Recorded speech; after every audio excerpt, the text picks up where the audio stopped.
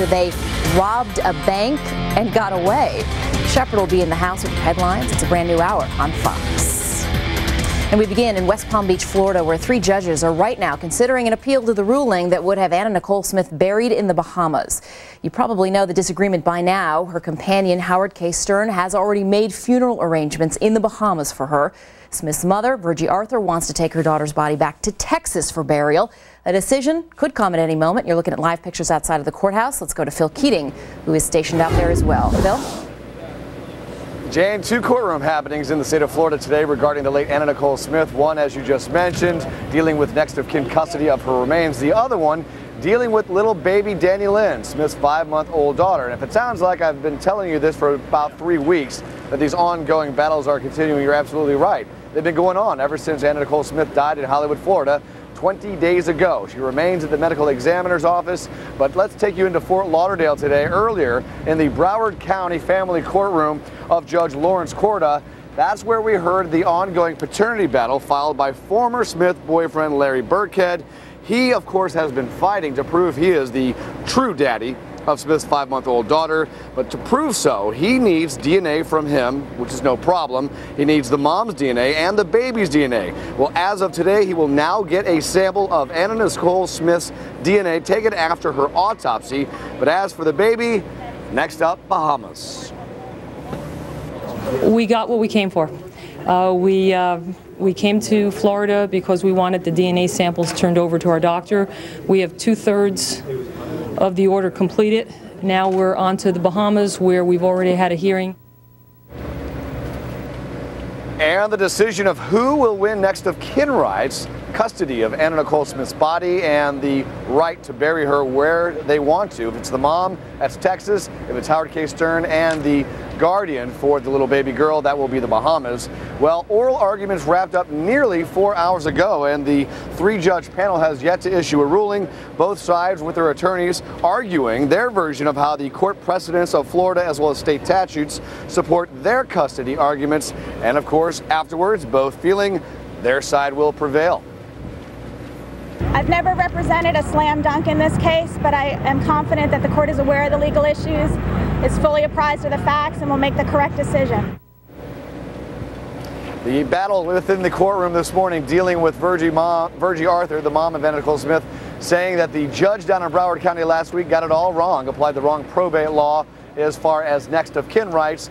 They argue that should go to the mother. However, on the other side of the equation, the guardian ad litem appointed for the baby, arguing that no, the judge in Broward County got everything absolutely correct. There are rights given to minors in the state of Florida because parents die all the time, sadly enough, and that leaves minor children who then have guardians appointed to make decisions for them. We will see how the three-judge panel interprets all of this.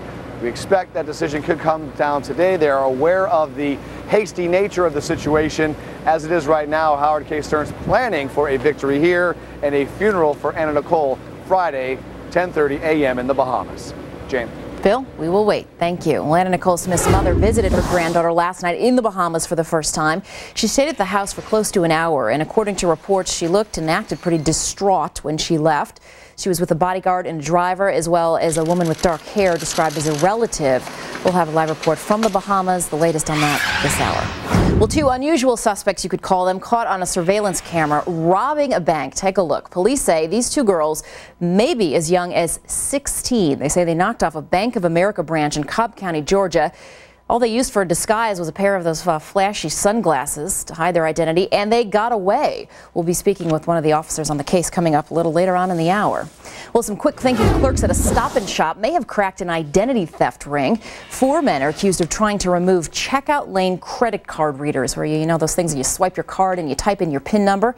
Police say the suspect wanted to steal customers' numbers and passwords. Stop and Shop is now nailing down those PIN pads in all of their stores.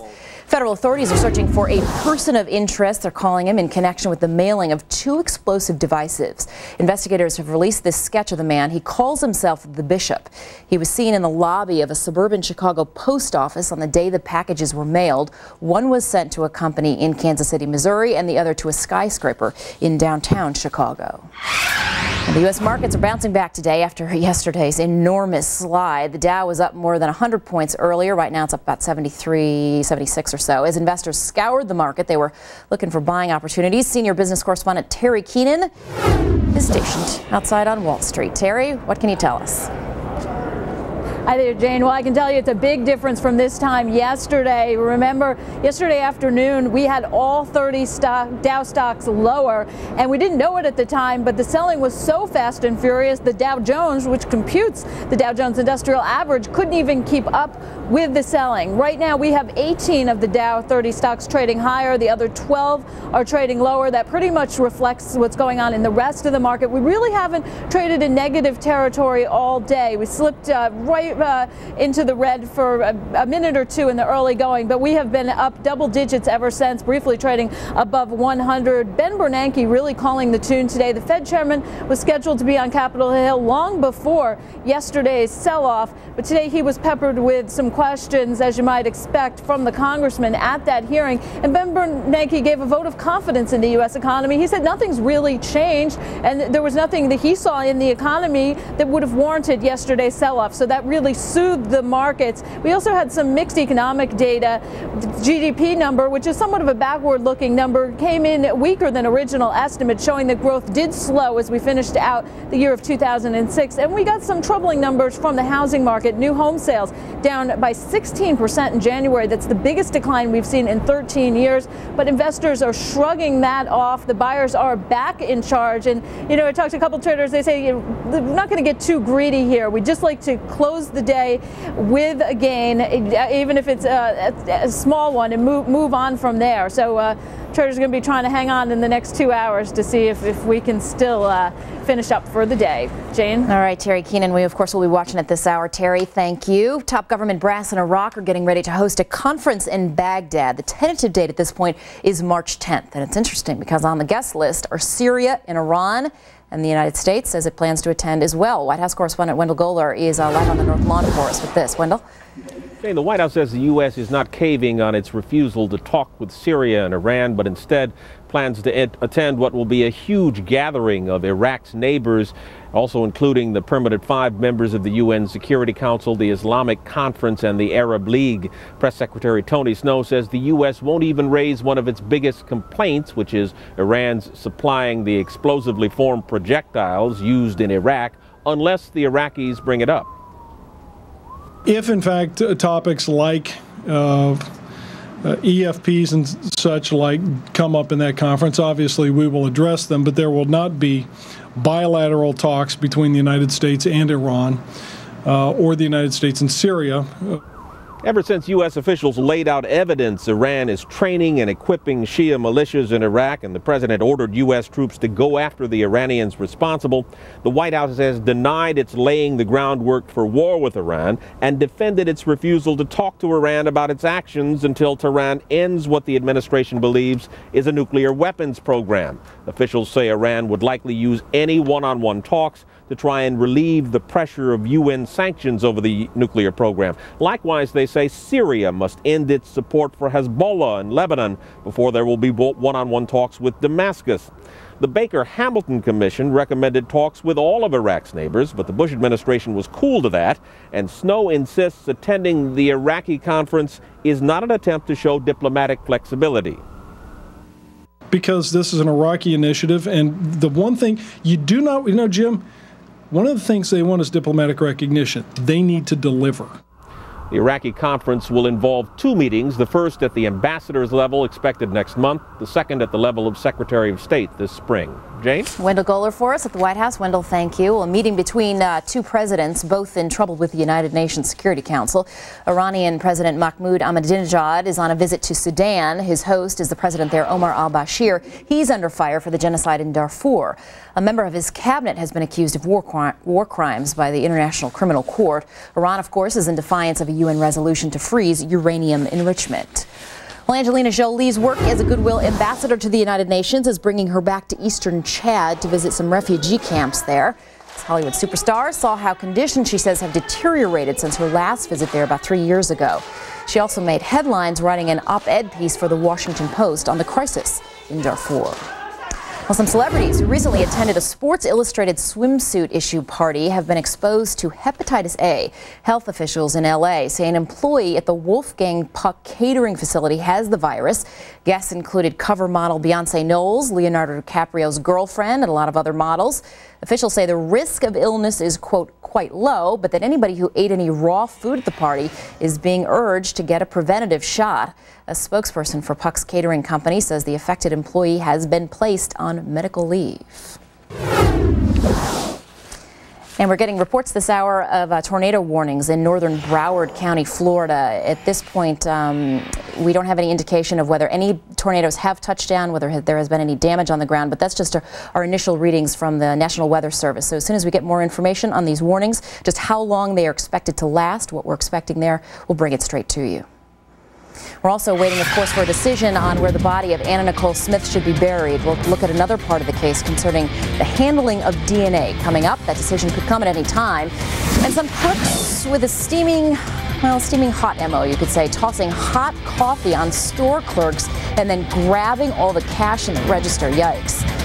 And could Paris Hilton end up going to jail? Coming up, why she is in trouble now and what a judge said would happen if she breaks the law again. I'm Darren Anderson, President of the National Association of Payday Lenders. We want you always to use payday advances responsibly. Payday advances are never designed to be a long term financial solution.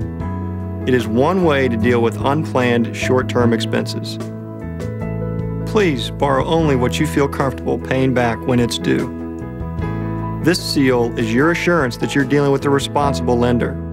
Always use payday advances responsibly.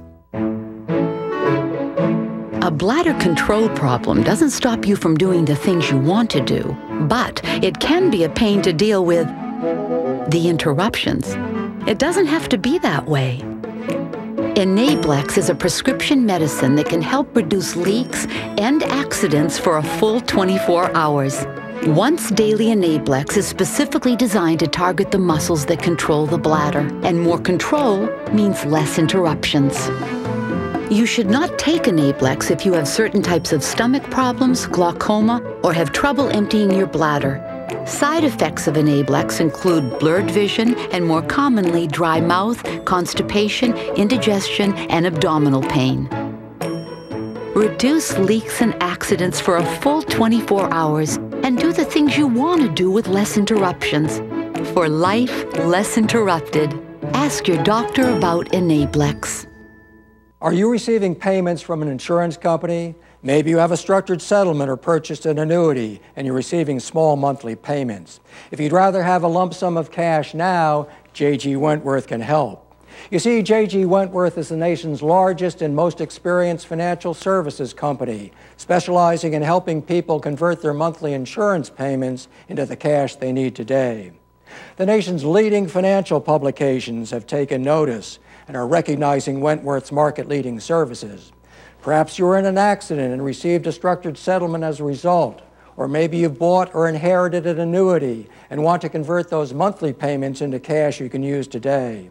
Thousands of people just like you are taking advantage of J.G. Wentworth's unparalleled access to the financial markets to get the customized payout they need today. Call us now. Our experienced advisors are standing by. Call 866 429 6218. Is Britney fair game for late night fodder? Why some people say they should cut off jokes mocking the former Mouseketeer. Comedian Andrew Dice Clay reacts. Plus, Miller Time takes on the Oscars. What's got Dennis fired up about the big show? Find out on The Factor. Celebs talk tough on global warming, but are their actions polluting our planet? Inside Hollywood hypocrisy on Hannity and Colmes. Plus, as chaos surrounds the Smith fiasco, will the latest appeal end any chance of a Bahamas burial? Greta has legal analysis tonight. A couple things we're watching at this hour. One of them is uh, tornado warnings for uh, Broward County, northern Broward County, Florida. These are uh, set to be in effect for about the next 15 minutes or so till 2.30 Eastern Time. Uh, we'll let you know if we get any reports of anything touching down. Obviously, they're uh, on the lookout there for severe weather in Broward County. We're also at this hour waiting for an appeals court in Florida uh, to rule on this bid for custody of Anna Nicole Smith's body. You're looking at a live picture outside the courthouse there in West Palm Beach. Earlier, Broward County judge ruled that he has no jurisdiction in the paternity case involving Anna Nicole's daughter, Dannielynn. So a couple of different things going on today. Joining us now is Larry Hayes. He is a family law expert and attorney. Larry, good to see you again. Can you, you simplify this for us in terms of the first issue, the decision that we're waiting on today from this appeals court? What are those judges considering right now, and did they give an indication today of how they might be leaning? They really did. Some of the justices asked uh, very pointed questions along the lines of Did Judge Sandlin have the right to delegate, and one judge even said abdicate, his responsibility to this guardian ad litem? And when you say, when we're talking about Judge Sandlin, just to remind people, he was the judge who got a lot of attention last week for saying he wanted to be a TV judge in his next life or other life. I call uh, him the weeping judge. Yeah, right, the one who was uh, sobbing at the end. And what he did was basically hand over the decision process to the guardian of this little five-month-old baby. And the judges today, you're saying, were questioning whether that was the right course of action? They were. There, a, case was mentioned several times, the Cohen case that came out of uh, the same district in Florida, and it seemed to stand for the proposition that the judge is the one who decides who or where the body would be buried, not who decides who would uh, decide who where the body would be buried, but the judge actually makes the decision. Did you get a sense that they were concerned enough that they might overturn it, that say she shouldn't be married, buried in the Bahamas? Gosh, I hope not, Jane, because that means we're going to have round two with uh, the weeping judge. Can you imagine the, the Kleenex we would need for that decision on where to bury Anna Nicole? So if they did decide that, it would, it would be kicked back to his court? It would be. It would be remanded, as the term goes, uh, back to his court to decide. I really don't think they will do that. Uh, interestingly, some of the judges apparently were watching the TV coverage because one of them asked, although it's off the record, isn't it true that funeral arrangements have already been made, and the lawyers responded uh, that they had. So I think this court uh, will probably render a decision on where she should be buried or either just affirm the decision that was handed down. And Larry, real quickly, it feels long to all of us and probably to the parties involved as well because it's been a couple of weeks, but should we have heard from this appeals court by now? Would you, were you expecting to hear earlier today or is this not a long time for a decision like this to be made? This is definitely on a fast track. Normally it takes a month to get into the appellate process in several months to have uh, a hearing like we had today and then several months to have a decision. I mean, they turned this around in a hurry, and how refreshing has it been to see three justices who actually act like judges, talk like judges, and give good insight into to what the judiciary process is all about. I think they were doing a lot of damage control today, trying to get away from Judge Sandlin and his sideshow. Larry Hayes, uh, attorney specialist in family law. Larry, uh, we'll see if we get a decision this hour. Thank you very much. We are going to take a, a, quick break, but as we go to break, uh, take a look at these ominous pictures from Fort Lauderdale. Wow. Uh, tornado warnings in northern Broward County, Florida uh, this hour. They're at this point set to expire in about, mm, about 13 minutes or so. We'll see if they're extended or not. Looking for some, for some severe weather, obviously, in southern Florida. We'll keep our eyes on that. Also, of course, all eyes on the big board this hour. Markets trying to recover after yesterday's huge slide. Wall Street's reacting to the testimony today by the Fed chair before a congressional panel. What did Ben Bernanke have to say? How, does it, how is it affecting the markets, if at all? And what do you do if you're just a regular old Joe, just a stock investor? Well, we'll tell you. Dagen McDowell will be along to tell us what to expect, what your concerns should be next.